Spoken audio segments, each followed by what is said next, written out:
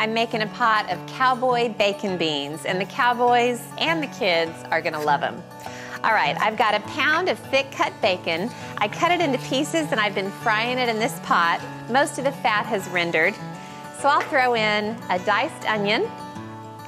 These beans are gonna be so flavorful, lots of different things going on. And then I have two green bell peppers and I cut them into kind of a big dice. I'll throw those in. Now I'm just gonna stir these around and let them cook. I want the peppers and onions to get just a little bit of color on them before I move forward. All the guys love a big pot of beans, and these are especially delicious. They're a little bit spicy, a little bit sweet, really, really satisfying. All right, I've got four cups of pinto beans. I washed them all and I picked out all the little particles. I'll stir those into the bacon, onions, and peppers. And now I'm gonna add a whole bunch of other ingredients. First, I'll top off the beans with water, and I'm just gonna pour enough water in so that it's about an inch over the surface of the beans.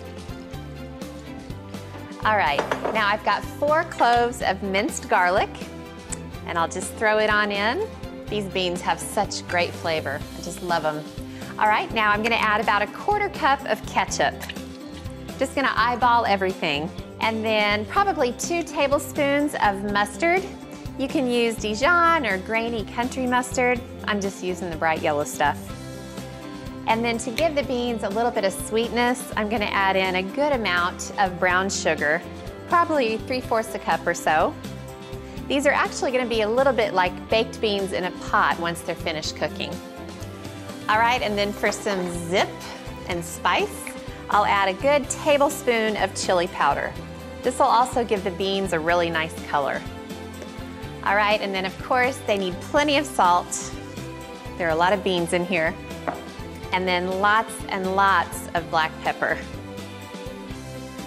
All right, now I'll just stir this around and I think it looks about perfect. The beans are boiling and they look great. So I'm just gonna reduce the heat and let them simmer for about three hours till the beans are tender and the sauce is really thick. A classic cowboy side, cowboy bacon beans.